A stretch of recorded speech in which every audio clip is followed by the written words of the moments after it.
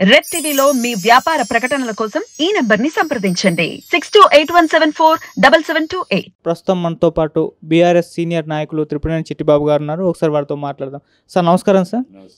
Sir నిన్న BRS నాయకులు మరి చలో మేడిగడ్డకు పిలుపునిచ్చారు సార్. అంటే అంతకుముందు కాంగ్రెస్ ప్రభుత్వం ఏదైతే ఈ కాళేశ్వరం ప్రాజెక్ట్ లోటుపాట్లు ఉన్నాయో అవి ఎత్తి చూపడానికి వాళ్ళు కూడా మేడిగడ్డకి వెళ్ళారు. ఇప్పుడు దానికి సవాల్ విసురుతూ వీళ్ళు కూడా వెళ్ళ- వెళ్ళడం జరిగింది. మరి ఎవరు గెలిచారు ఈ సవాల్లో? ఏం సమాధానం చెప్పారు బీఆర్ఎస్ నాయకులు బీఆర్ఎస్ ఇప్పుడు సమాధానాలు ప్రశ్నలు కాదమ్మా అసలు బి- మేము వెళ్ళిన ప్రోగ్రాం ముఖ్య ఉద్దేశం ఏంటంటే ఆ ప్రోగ్రాం ప్రజలకి అసలు కాళేశ్వరం అంటే వీళ్ళు కేవలం మేడిగట్ట ఒకటి కాదు మూడు బ్యారేజీలు ఉన్నాయి.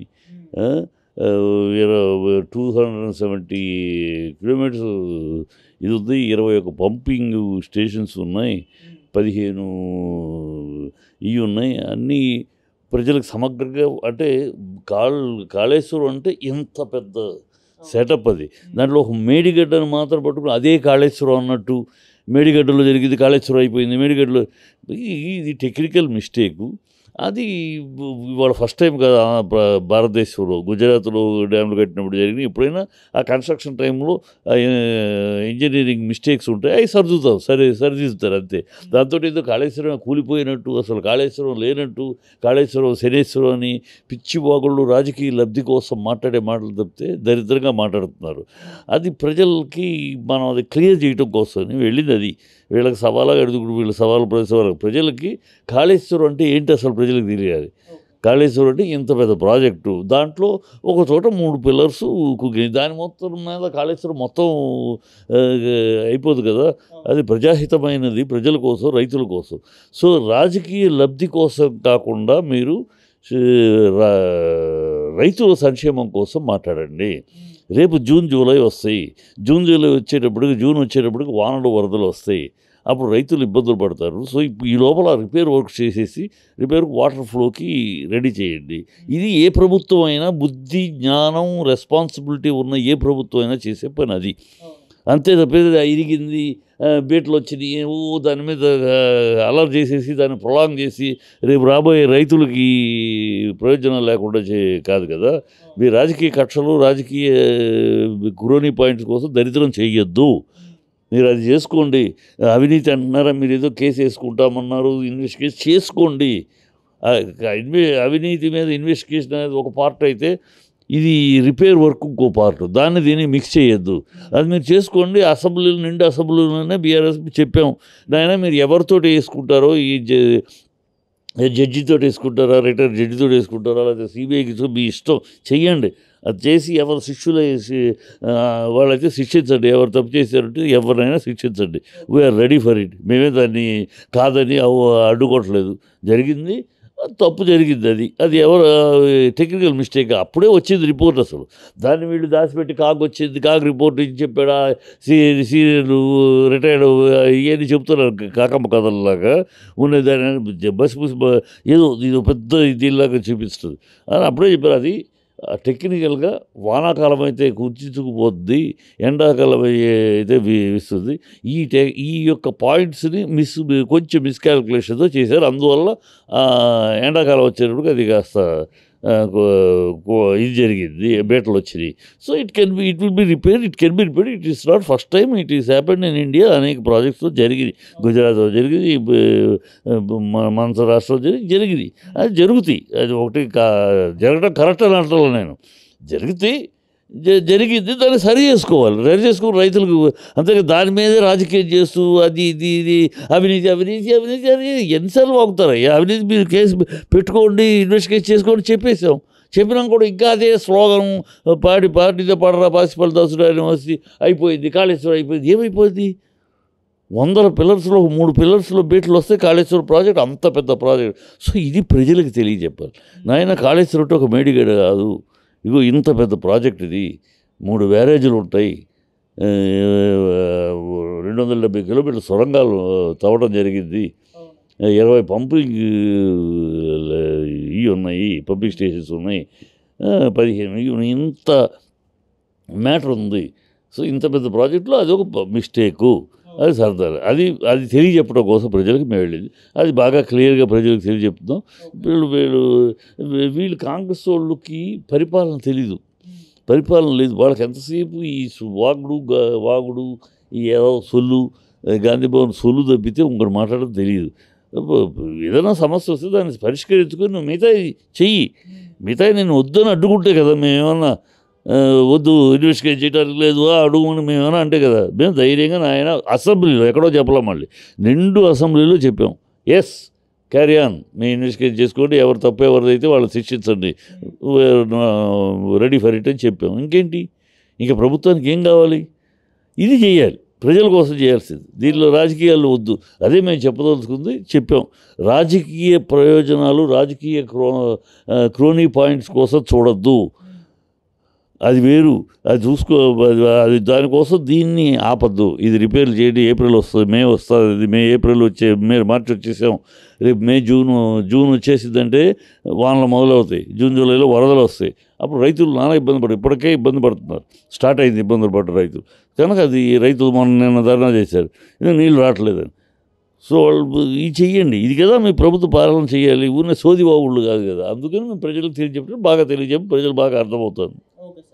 సరికి ఇటువైపు చూసుకుంటే రేవంత్ రెడ్డి గారు మొన్న ఒక సభలో కేటీఆర్ గారికి ఒక సవాల్ ఛాలెంజ్ విసిరారు సార్. నువ్వు మగాడు అయితే ఒక ఎంపీ సీట్ ఇక్కడ గెలిపించి చూపించు అని చెప్పేసి అన్నారు. దానికి కేటీఆర్ గారు కూడా కౌంటర్ ఇచ్చారు. మీరు ఏం చెప్తారు సార్? ఇప్పుడు రేవంత్ రెడ్డి ఒక చిల్లర మనిషిగా మాట్లాడుతున్నారు.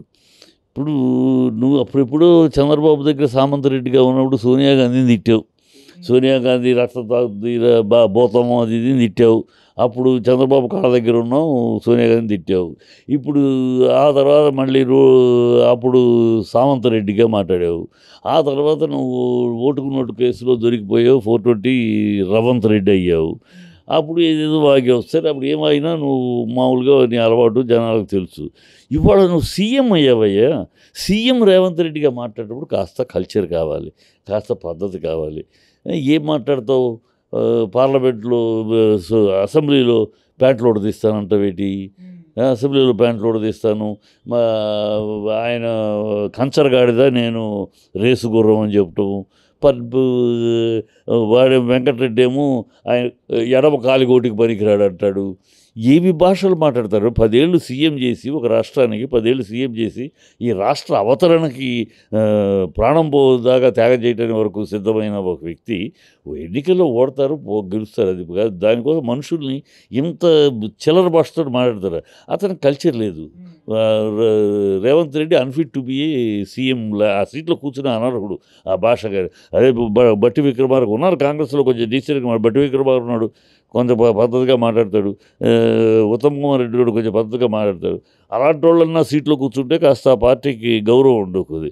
ఇలాంటి వాళ్ళు కూర్చుంటే వల్ల చిల్లర పార్టీ చిల్లర మాటలు. విదేశాలకు వెళ్ళి అక్కడికి వెళ్ళి వంద అడుగులు లోతు తొక్కుతాని.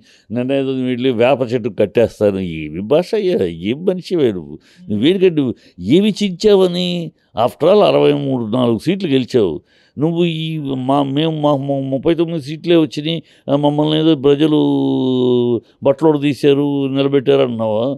ఆ మాట్లాడటానికి నీకు సిగ్గు ఉందా నువ్వు ఎన్ని సీట్లు గెలిచావు? అరవై నాలుగు సీట్లు. ఎన్ని సీట్లు ఓడిపోయావు? యాభై నాలుగు సీట్లు ఓడిపోయారు. యాభై నాలుగు సీట్లు కాంగ్రెస్ ఓడిపోయింది. అంటే కాంగ్రెస్లో చీప్ అమ్మన్నారు యాభై నాలుగు సీట్లు. అంటే అక్కడ మీ బట్టలోడు తీసి గోచితోటి నిలబెట్టారా? మాకు బట్టలోడు తీస్తే మీకు గోచితోటి కూర్చోబెట్టారు మిమ్మల్ని ప్రజలు? ఈ భాష అది. ఓటమి గెలుస్తారు ఓడుతారు. గౌరవంగా నీకు ప్రజలు ఏదో లక్కీ మ- అదృష్టమో ఇంకోటో ఇంకోటో అక్కడ మహామహులు ఉండగా కాంగ్రెస్లో ఉత్తమ్ కుమార్ రెడ్డి బట్టి విక్రమార్క వెంకటరెడ్డి బ్రదర్స్ ఉండగా కూడా నువ్వు తన్నుకుంటూ అదృష్టం తంది వచ్చావు.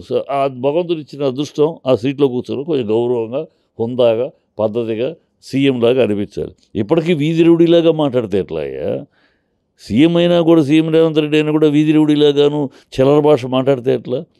ఆ, వ్యాప కట్టేస్తావు. ఏం మాట్లాడతావు అసలు? మాట్లాడదాంట్లో ఒక ఆయన ఎంత ఆయన అనుభవం ఉంది ఇప్పుడు మేము అనలేమా? ఎడం కోరికోటికి పనికిరావు అనే మాటలకేను ఆయన కచ్చరగాడు తర్వాత మేము అనలేమా? కేసీఆర్ ఉచ్చపోసిన చోట నుంచునే అర్హత ఉందా నీకు అని అడగలేమా? ఎంతసేపు ఆ మాట అడగటం? కానీ మా కల్చర్ అడ్డొస్తుంది మా గౌరవం అడ్డొస్తుంది. చే ఈ భాష వా- వాళ్ళ భాష చిల్లర భాష మనం ఎందుకు మాట్లాడాలని మాట్లాడడం కానీ అంటా ఎంతసేపు పెద్ద విషయం కాదు. అది బుద్ధి ఉండాలి. ఆ, మాటలు మాట్లాడటం అసెంబ్లీలో. ప్యాంట్లు ఉపదిస్తా పంచులు ఉపదిస్తారు ఇది అంత ఇష్టమా? ప్యాంట్ ఉపదిస్తే ప్యాంట్ ఉపదిస్తూ ఆ దర్శనం చేసుకోవాలి అంత ఇష్టమా అని. కానీ మీకు మిమ్మల్ని గోచితో కూర్చోబెట్టారా ప్రజలు? యాభై నాలుగు సీట్లు కూడా అది లెక్క ఉండాలి కదా. అరే మనం అరవై నాలుగే గెలిచాం యాభై నాలుగులో ఓడిపోయాం కదా మనం. ఓడిపోయాం కదా మన ప్రజలు యాభై నాలుగు సీట్లు చీపమ్మన్నారు కదా అంటే మనం ఏం చేసినట్టు ప్రజలు? ఓడిపోతే గోచీలో కూర్చోబెట్టినట్టు గెలిపిస్తే కిరీటాలు పెట్టినట్టు కాదు కదా రా ప్రజాస్వామ్యం. ఓకే ఒక ఒక క్యాలిక్యులేషన్లో మీరు గెలిచారు. సంతోషం మీకు పాలించుకోండి. అంటే ఎవడో దింపేస్తే ప్రభుత్వం పడిపోతుందన్నారు అన్నవాళ్ళని వాళ్ళని తరమండి కొట్టడం అంటాడు ఎవడన్నాడు? మేము దింపేస్తామని అనలా. బీఆర్ఎస్ ఎప్పుడు మేము దింపేస్తాము కాంగ్రెస్ పార్టీని అధికారం నుంచి అల్లా వాళ్ళే దిగిపోతారు అంటున్నాం.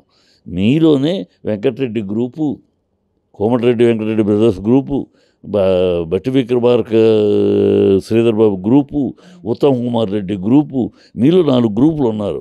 వాళ్ళందరూ కడుపు మండి ఉన్నారు. ఎందుకంటే మేమే అంటలే ఎందుకు అంటున్నాం ఏ ఆధారాల మీద అంటున్నాం? ఉన్న అంటలా. ఉత్తమ్ వెంకటరెడ్డి ఏమన్నాడు? నన్ను సీఎం నువ్వే సీఎం అని సీ సోనియా గాంధీ నాకు ప్రామిస్ చేసింది అన్నాడు ప్రామిస్ చేసింది. కానీ ఇప్పుడు ప్రస్తుతం ఆయన ఉన్నాడు. అంటే అర్థం ఏంటి? రెండో కృష్ణుడు నేననే కదా? భట్టి అబ్బో, బట్టి వైఫ్ ఏముంది? ఇన్ని పబ్లిక్ డొమైన్లో వైఫ్ ఏముంది? మేము సీఎం అవుతాం నాన్న కష్టాలు కష్టాలు పడి అహోరాత్రాలు కష్టపడ్డాం. ఆఖరి నిమిషంలో ఎవరో తనుకుపోయారన్న అంటే దాని అర్థం ఏంటి? ఉన్న ఉన్న రెడీగా ఉన్న. ఉత్తమ్ కుమార్ రెడ్డి ఏమన్నాడు? నేను సుదీర్ఘంగా రా పార్టీకి ప్రెసిడెంట్గా ఉండి పార్టీని నిలబెట్టాను. ఆ నిలబెట్టబట్టే వాళ్ళ పోటీలో నిలబడికే బలము శక్తి వచ్చింది. అన్నాడు అంటే అర్థం ఏంటి?